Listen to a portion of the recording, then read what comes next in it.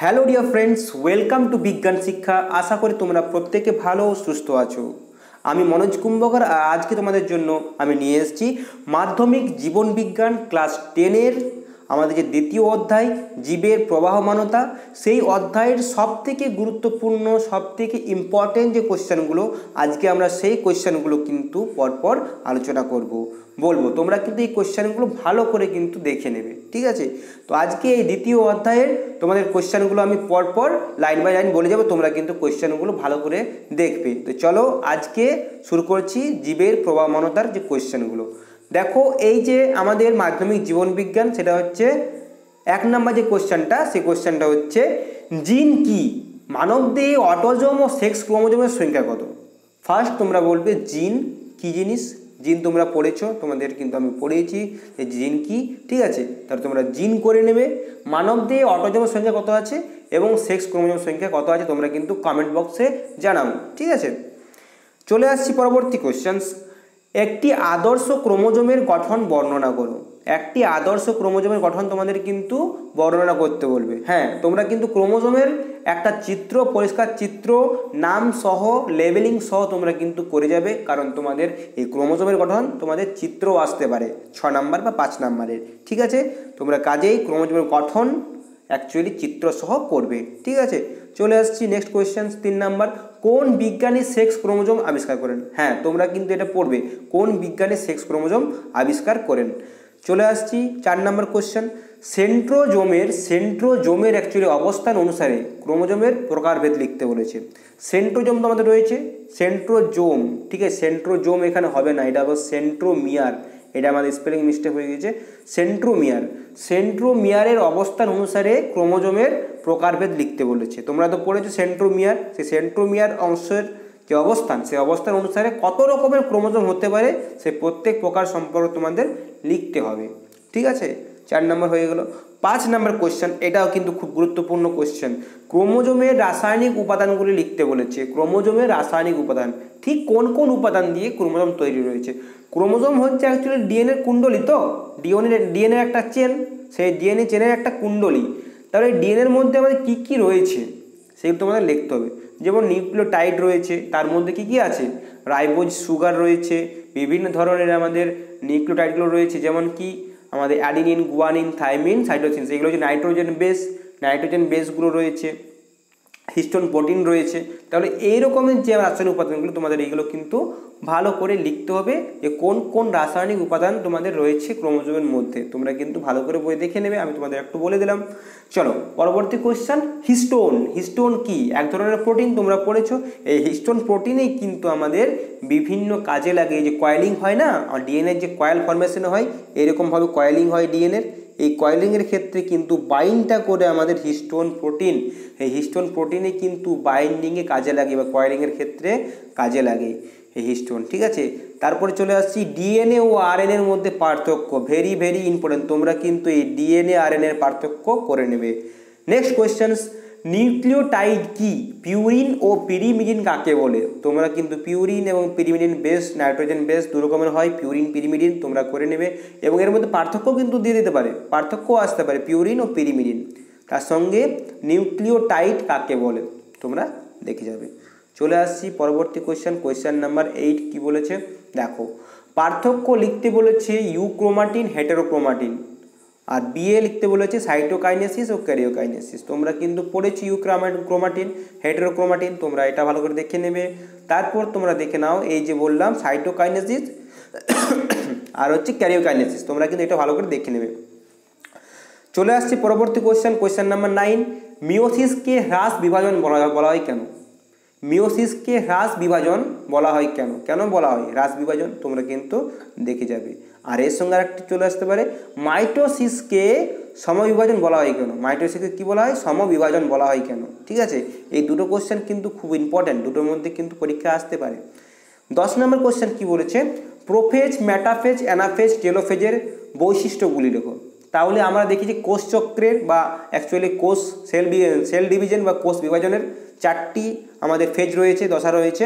Prophase metaphase anaphase telophase এই চারটি দশার মধ্যে তোমরা দেখে নেবে যে গতবারে কোন দুটো এসেছে। যদি কোনো এসেছিল, তাহলে সেগুলো বাদ দিয়ে বাকি দুটো করে তো চারটাই কিন্তু ইম্পর্টেন্ট তোমরা চারটা ফেজেরই, চারটা দশারে অ্যাকচুয়ালি তোমরা বৈশিষ্ট্যগুলো করে নেবে। চলে আসছে এগারো নম্বর।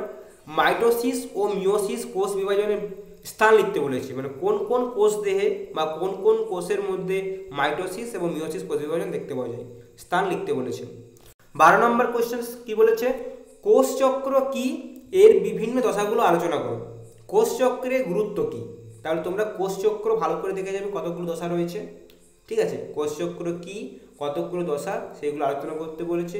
এবং কোষচক্রের গুরুত্ব কি? এই যে আমাদের কোষচক্রের তার গুরুত্ব কি রয়েছে, সেটা তোমাদের কিন্তু করে যেতে হবে। তেরো নম্বর পার্থক্য আবার লিখতে বলেছে, পার্থক্য কিন্তু তোমাদের অনেকগুলো আসবেই। কমসে কম তোমাদের পার্থক্য তিন থেকে চারটা কিন্তু দেবেই দেবে, তাই তোমরা পার্থক্য ভালো করে করে যাবে। এক নম্বর কি দেওয়া আছে সাইন্যাপস ও সাইন্যাপসিস, সাইন্যাপস ও সাইন্যাপসিস আসতে পারে। বি দেওয়া আছে, উদ্ভিদ কোষে সাইটোকাইনেসিস এবং প্রাণী কোষে সাইটোকাইনেসিস পার্থক্য আসতে পারে।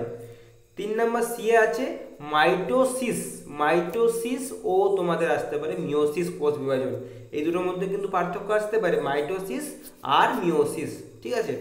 ডি আসতে পারে, কি বললাম? যৌন এবং অযৌন জনন। ডি আসতে পারে যৌন এবং অযৌন জনন, পার্থক্য আসতে পারে। চলে আসি পরবর্তী কোশ্চেন বিভিন্ন প্রকারের অযৌন জননগুলির উদাহরণ সহযোগে বর্ণনা করো। কি বলেছে? বিভিন্ন প্রকারের যৌ যৌন নয় অ্যাকচুয়ালি অযৌন জননগুলি উদাহরণ সহযোগে বর্ণনা করতে বলেছে। তোমরা কিন্তু বিভিন্ন প্রকারের যে রয়েছে অযৌন জনন সেগুলোর প্রকারভেদগুলো ভালো করে উদাহরণ সহযোগে তোমরা করে নেবে। কিন্তু এখানে চিত্র আঁকলে কিন্তু আরও ভালো হয়। চিত্র সহ বলতে পারলে কিন্তু ফুল মার্কস পাওয়া যায়, ঠিক আছে? যদি পাঁচ নাম্বার থাকে, তাহলে তোমরা কিন্তু পাঁচ মার্কসেই পেয়ে যাবে চিত্র দিলে, ছবি দিলে, ঠিক আছে? তোমরা অবশ্যই ছবি কিন্তু করে যাবে চলে আসছি পরবর্তী কোয়েশ্চেন কোয়েশ্চেন নাম্বার ফিফটিন মাইটোসিসের তাৎপর্য লিখতে বলেছে মানে গুরুত্ব ঠিক আছে? কি গুরুত্ব মাইটোসিস বলেছে তোমরা অবশ্যই লিখবে। চলে আসছি কোয়েশ্চেন নাম্বার সিক্সটিন বিভিন্ন প্রকারের কৃত্রিম অঙ্গজননের পদ্ধতিগুলো লেখো। বিভিন্ন প্রকার যে কৃত্রিম অঙ্গজনন রয়েছে, যেগুলো আমরা বলে থাকি, কি বলে থাকি? কলম, বিভিন্ন ধরনের যে কলমগুলো রয়েছে, জোর কলম, দাবা কলম, গুটি কলম, সেই কলমগুলো তোমরা কিন্তু ভালো করে করে নেবে। এগুলো বলা আছে কৃত্রিম অঙ্গজনন এর সঙ্গে বলে রাখি তোমাদের, স্টক ও সিওন বলতে কি বোঝায়? এটা কিন্তু ভেরি ভেরি ইম্পর্টেন্ট তোমাদের। লিখে রাখতে পারো ভেরি ভেরি ইম্পর্টেন্ট স্টক ও সিওন। এটা কিন্তু পরীক্ষায় খুব বেশি দিয়ে দেয়। স্টক ও সিওন বলতে কি বোঝায়? তোমরা কিন্তু করে নেবে। আঠারো নম্বর question micro propagation again important questions micro propagation কি? এর গুরুত্ব। ভালো করে কিন্তু দেখে যাবে, বলে রাখলাম।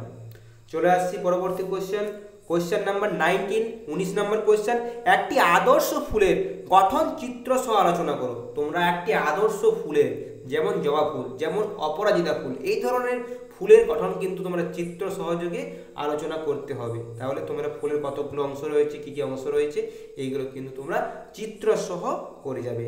পরবর্তী কোয়েশ্চেন টোয়েন্টি স্বপরাগযোগ এবং ইতর পরাগযোগ উত্তর হবে না, এটা হবে ইতর, রসইতর ইতর পরাগযোগ ইতর পরাগযোগ বলতে কি বোঝো? তোমরা কিন্তু ভালো করে করবে পারলে তোমরা এর চিত্রটাও এঁকে নিতে পারো। স্বপরাগচক ইতর প্রয়োগ এমন কিছু কঠিন ব্যাপার নয় চিত্রটা চিত্রটা তোমাদের এক মিনিটে হয়ে যাবে।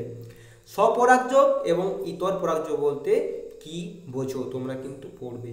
Twenty one question number twenty one কী বলেছে? একটি করে বায়ু পরাগী, জল পরাগী, পতঙ্গ পরাগী ও পক্ষী পরাগী উদ্ভিদের উদাহরণ দাও। তোমাদের বলেছে একটা করে বায়ু পরাগী, জল পরাগী, পতঙ্গ পরাগী এবং পক্ষী পরাগী উদ্ভিদের উদাহরণ দিতে বলেছে। মানে অ্যাকচুয়ালি তোমাদের যে পরাগ মিলনটা পাখির দ্বারা হয় না বায়ুর দ্বারা হয় এবং জল দ্বারা হতে পারে, পতঙ্গ দ্বারা হতে পারে। তাহলে এই ধরনের যে উদ্ভিদগুলো রয়েছে, যেটা জলের দ্বারা হয় এবং পতঙ্গের দ্বারা হয়, পাখির দ্বারা হয় এই ধরনের উদ্ভিদগুলোর কতগুলো নাম লিখতে বলেছে। পরাগ মিলনটা কার দ্বারা হয়? তাহলে এই প্রতি প্রকারের কিন্তু একটা করে তোমাদের এক্সাম্পল বা উদাহরণ লিখতে বলেছি, তোমরা কিন্তু ভালো করে দেখে যাবে।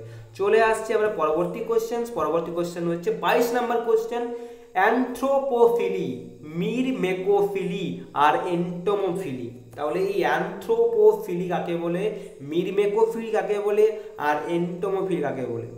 অর্থাৎ এইগুলোর মাধ্যমে অ্যাকচুয়ালি পরাগ মিলন হতে পারে। অ্যান্থ্রোপোফিলি। অ্যান্থ্রো মানে হচ্ছে আমাদের হিউম্যান মানুষ।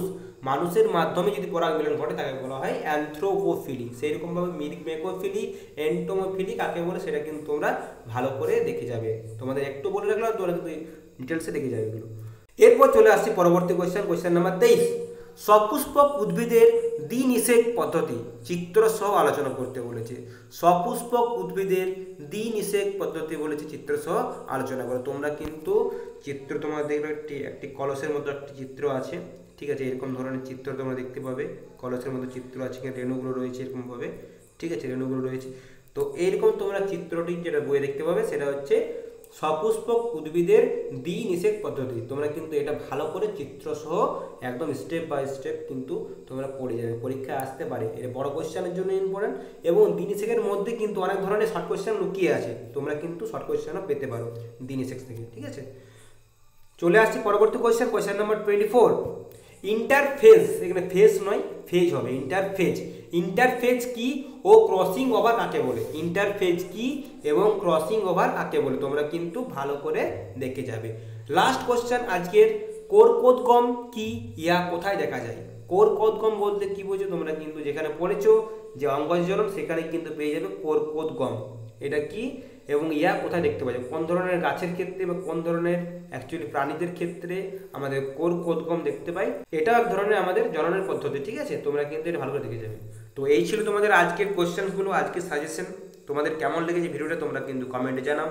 এবং আমার চ্যানেলে তোমরা নতুন হয়ে থাকলে চ্যানেলটা সাবস্ক্রাইব করে দাও। দেখা হচ্ছে পরবর্তী কোনো গুরুত্বপূর্ণ ভিডিওতে ততক্ষণের জন্য। জয় হিন্দ, বন্দে মাতরম টেক কেয়ার